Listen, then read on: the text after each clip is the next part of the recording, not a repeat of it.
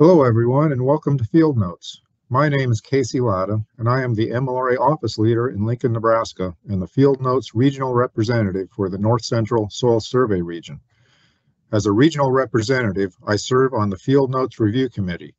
The Review Committee solicits and selects topics for each webinar. We have selected one exciting topic for today's live event, but first, let's go over a few housekeeping items. This is a Microsoft Live event, not a Teams meeting, which means you are joining today's webinar in listen-only mode. We encourage you to ask questions at any time using the Q&A panel. The Q&A panel should open by default. However, if for some reason your Q&A panel is not open, simply click on the question mark icon located in the upper right side of your screen. For closed captions, turn on the live caption button located in the lower right corner. Today's session is being recorded. Recorded sessions are available in Teams on the Field Notes channel and the Soil and Plant Science Division's YouTube channel. Again, thank you for joining us. I hope you enjoy today's session.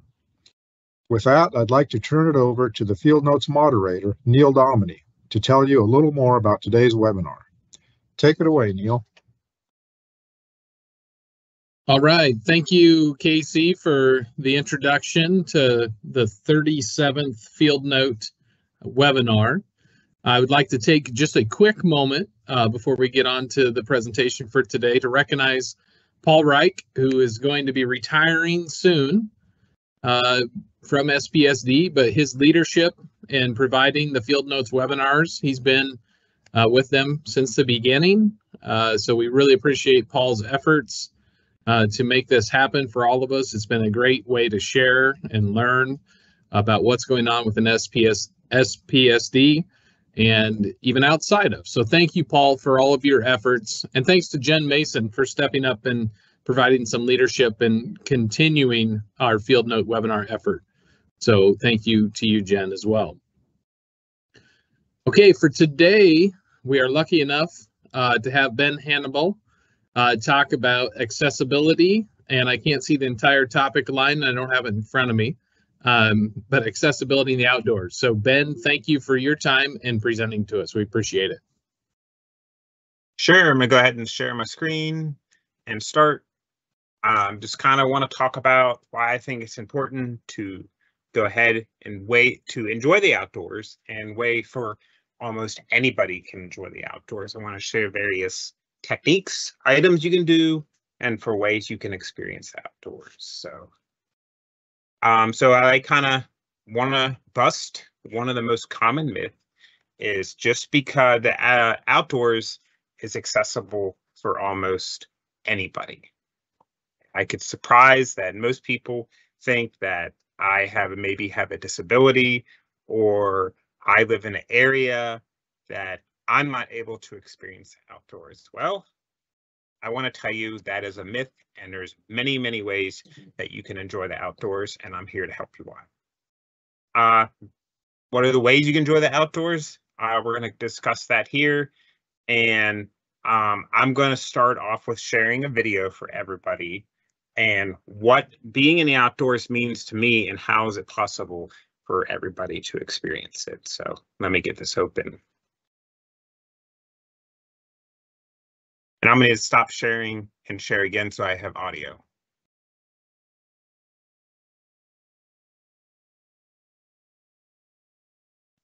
And we'll skip Stuffy. this ad and we'll go ahead and start. To experience something new in life refreshes your brain and recharges your soul.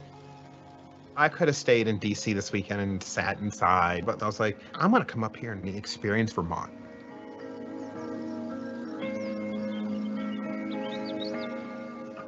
This is my first time here in the summer. And I think that's what surprised me the most was how green and lush everything is. You couldn't ask for better weather.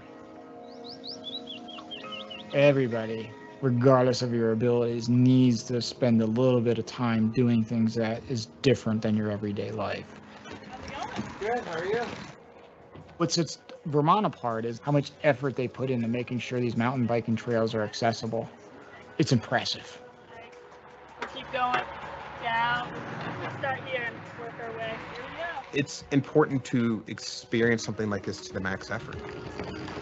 Have that adrenaline rush to almost make you feel like you're completely independent. I enjoy putting my head down and listening to the tires go. And the kind of the beauty of that is it's pure and just concentrating on this one specific thing, which is getting down the mountain fast and safe in that order.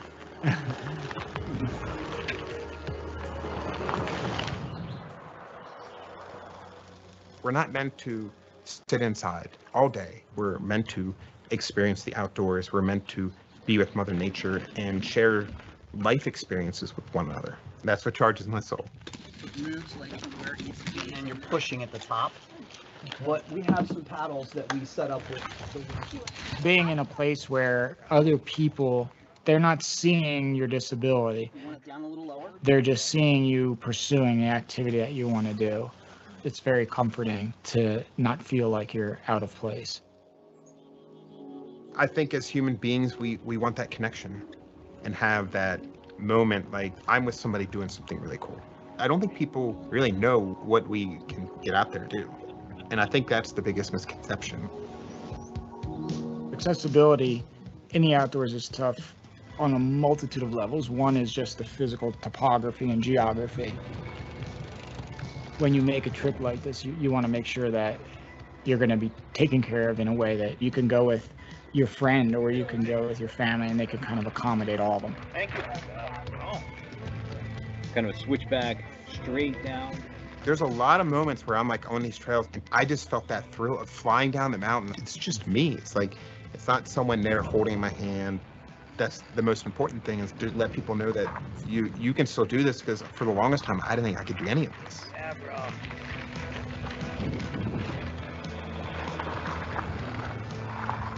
minus moving this bike around on my own, I could come up here independent completely.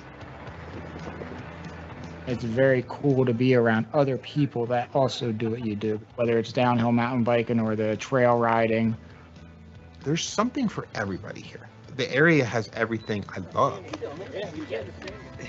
It's all right here in this whole little area. And I'm sure there's even more I haven't even like even I experienced and looked at. There's the whole state. I think what makes a trip really special is not even just the activity that you do, it's a lot of times the community that you meet. Because in life, you could have a lot of material goods or you could do a lot of things, but without the community and the understanding and those friendships and relationships, that's really what makes a trip a special trip. Hell yeah. Oh, yeah, back up.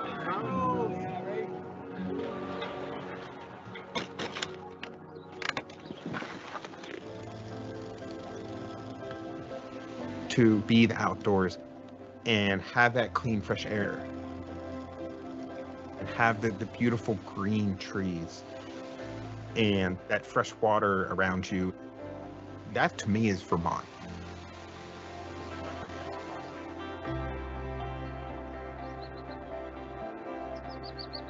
Thank you all. I'm gonna go ahead and continue. Let me stop sharing and close that video.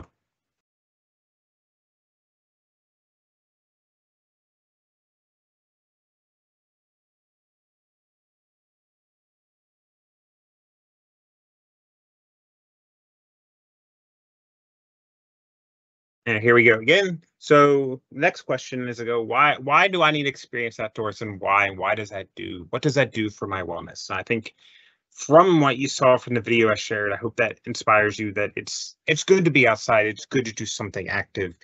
It's like for me, it, it just it's something that always has refreshed my brain. It's something that, you know, man, I've been working all day and I'm stuck inside and it's beautiful out and it just nice to be able to experience the outdoors. Um, one of the next items I want to share, and so everybody make sure they know this, is I'm going to talk a little about the access pass. Um, this is a uh, the link is in here. It's a lifetime pass for anyone with a permanent disability, which is a permanent disability is a um, something that limits one of life major activities: walking, talking, breathing, any a number of things This pass allows you to get you, yourself, and any three friends, or if the park, the national park charges by carload, free into any national park for the rest of your life. So if you're personally interested, I'd love for you to reach out to me. I can provide this link. You can also go to any national park that sells passes to pick up one as well. Uh, I'm gonna kind of start about my next one of my next favorite things, uh, biking, which allows like different. I'm gonna talk about very different types of bikes that allow people to get outside and do some biking. Um, first thing I'll talk about, probably one of the most common ones, what I use um, is a hand cycle. It's for people that have lower limb mobility impairments and a hand cycle. Just as like, as you said, you power with it, your arms. You're often lying down. Uh, sometimes people are sitting up, but you're often while lying down and you crank with your arms. Uh, tandem bikes, this uh, allows people, two people to ride uh, at the same time. Um, four-wheel dual recumbents, these are uh, bikes that are essentially where somebody is using, they're sitting and they use their feet to pedal uh, side by side. It's like a tricycle, uh, which allows two riders to cycle at the same time. And then recumbent cycles, this could be a bike with two wheels where someone's still sitting down and uses their feet to pedal. And then I have the tadpole and the high hand cycle. The high hand cycle is somebody that may not be able to transfer properly, but where they actually would be sitting like in a seat and they would crank with a bike. And I'm going to kind of give a couple examples and pictures of different types of biking. Uh, so here you have the tandem. This would be the recumbent. As you see, this person is sitting and they're using their feet to pedal. This would be the three the sitting bike. And then these two bikes here, this is like your typical hand cycle. As you can see, that's me. And then the one in the middle is something that it's kind of different. It's called, um, it's an e-mountain bike. It's something that's Mm. taken off recently in the past couple of years. Uh, these are bikes that allow you to go mountain biking. If you saw a couple in the videos, that's some of the bikes I would use. So typically, these bikes kind of have a motor in the back that allow to give you the extra boost to get up the hills. Uh, next thing I'll talk about is another one of my favorite kind of activities um, is rowing.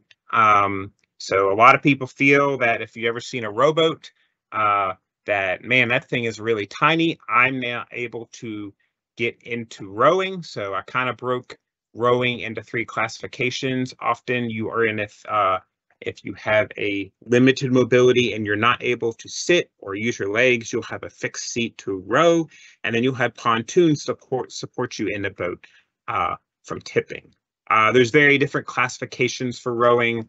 Um, each person has different levels and abilities, but you know, adapting rower can also take in a single or double. So if you have limited mobility and you're like, man, I don't think I could do this boat my own, somebody else can come with you and do that.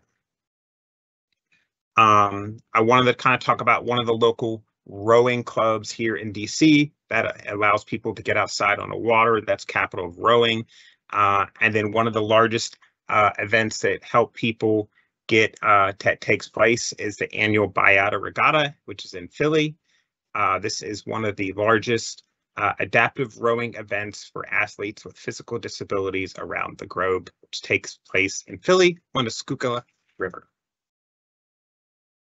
I'm going to go ahead and talk about uh, adaptive equipment and how you can find ways for yourself to get outdoors. Um, adaptive Sports Move United, if you follow this link here and I'll bring it over, um, allows for you to figure out what kind of types of equipment you might need to get outdoors or could experience different types of adaptive sports. Uh, as you can see here, as I scroll through here, there's backpacking, badminton. I mean, all sorts of great useful tools for like for ways for you to figure out man i don't think i can do well fencing or fishing or you know i want to go fishing what kind of types of equipment i might need to go fishing you know i don't know if i can experience it and i'll just kind of click on that and kind of give a quick example and you know there's different types of finding of programs different types of equipment that you can need. Of course everybody should have a license when they go fishing so we'll take it from there. I'm going to bring my presentation back up. Oops. Um, one of the examples I found on here that was really useful um, was example walking poles. Man, someone's like, I don't think I could do it, and they found uh, walking poles on here, and then they use it to um, essentially give you the vendor and the types of poles you may or may not need. Uh, probably one of my other favorite site is called All Trails. Uh, this is a hiking trail website for anybody that likes to enjoy the outdoors. And in this site, it allows you to pick and find all sorts of uh, local trails or outdoor spots in your area. And Neil, I'm going to pick on you. We're going to go out to Lincoln, Nebraska. We're going to see what is possibly out there that I'm like, hey, I'm out in Lincoln, Nebraska. I got a stroller. I'm not sure what types of trails I can experience. As you see, each of these top trails are rated moderate, easy, and then I can actually go down here and filter. Well, I have my family with me, or you know, uh, my my grandma's with me, or I have a, a friend, and I want to make sure I want to take my dog, so I can hit stroller friendly, and I can go in there and I can say, hey, there's eight trails in here that I could possibly go to that I know are friendly. It gives you the length, how long it would take you to walk, and all sorts of tr- different trails like that. And then if you're even feeling more adventurous and you're like, I want a really tough uh, trail, I can pick the hardest trail. Well, sorry, Neil, looks like you don't have any hard trails out in Lincoln, Nebraska, but you know, this is something very useful. It's called All Trails. So if you want to make sure like there's ways for you to get outdoors and experience everything. Bring my PowerPoint back up. Um, so I'm going to talk about a couple adaptive organizations, and these are organizations in many different states across the country um, that help people get outdoors. I'm going to list a couple example of organizations that are on here. Uh, Vermont Adaptive, which is the one you saw in the video. Uh, I have uh, one of the largest adaptive centers in the world, which is out in Salt Lake City, the National Ability Center. And then I have the NSCD, the National Sports Center for the Disabled, which is out in Colorado.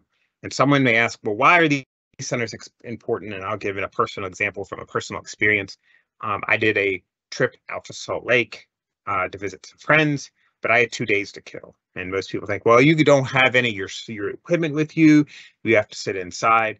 I called up one of these local organizations and I was able to rent a bike for the day to go outside and bike and not have to worry about uh, finding a, a person to go with or anything you know and they had a really cool event going on uh, a lot of all these events are usually nonprofit they're all over the country uh, if you go for example to move united you can often find these organizations you know one of the best things i could also recommend is google or social media instagram facebook twitter uh, those are great examples of finding these types and allows you to connect and like, and they may even be able to share and help you with ideas on how to get outside. I wanted to kind of get a non full non-disclosure statement. You know, I wasn't like picking on anything or saying, hey, I'm favoring anything. It's just showing that these are possible tools and your resources and I'm going to end it with a little video of like rowing and how that possibly works and how that possibly allows you to do that. And then I could take some questions.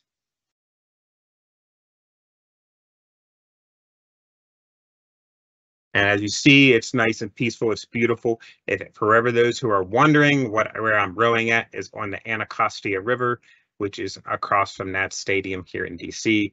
I will say the river is not clean, but it is still very peaceful as you see the sun setting and we're outside getting good exercise in. So I will take questions and answers if anybody has any.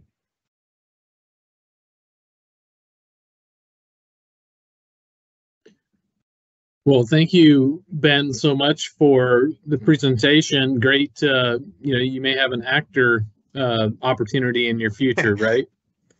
I, I uh, hope so. So I think the story I like to tell about that, and this is why I encourage people to do a random trip, um, is that was a commercial I was asked to help shoot because the state of Vermont wants to promote accessibility and wellness. And um, the year before, I decided to take a random trip up to Vermont. And um, I asked my buddy to come, who's in that video as well. And we both up and they said, We like you so much. We want you to come back up and help shoot this commercial. So um, Vermont is one of the states that wants to promote um, accessibility to all and wellness and allows people to get outdoors and experience different things. So I always encourage you to try something new uh, from a random social media post. Nice. All right. Um, thank you for that, Ben. I do have a quick question and then I see some in the queue here. Um, one of the slides you posted or shared was uh, adaptive sports. I believe it was a website and I don't remember what the website was called. Um, web, I have it here. It is Move United. Um, right here. And what I can do is, I think I can put it in the chat here for everybody. Right.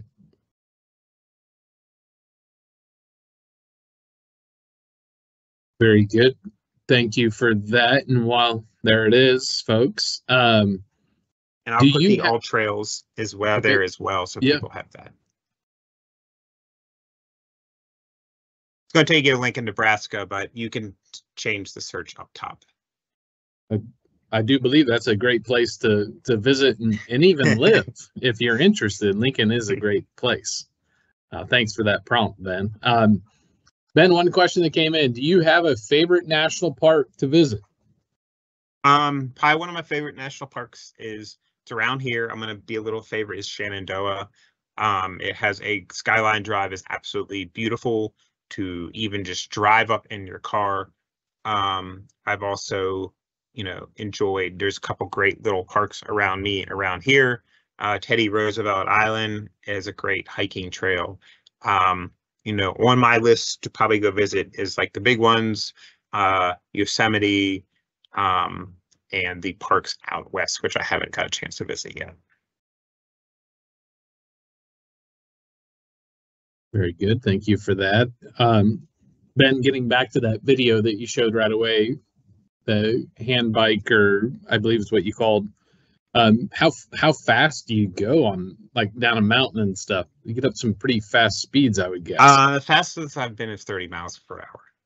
Um, wow. So, um, that was a little bit hairy. Uh, but usually you're about 20. Uh, in my hand cycle, if I'm on a flat ground, I'm about 15 to 18 miles per hour. Uh, downhill, you know, 24 30, and then I go really slow uphill. So,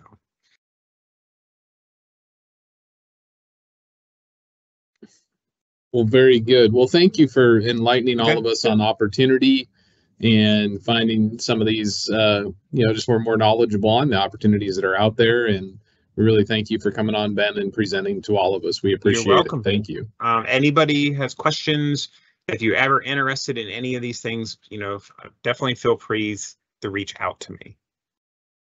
All right. Thank you. Thank you again, Ben. And yeah, feel free to take Ben up if you have any additional questions. Um, so as you can see on your screen, um, our next webinar, July 9th from 2 to 3 Eastern. And then I guess maybe I was too fast on my prompt for happy retirement to Paul. Uh, yes, Paul, thank you for all your hard work and dedication um, to push. This is just one small thing you, you do, you've done for SPSD, Paul, and, and we've appreciated the opportunity. So thank you all.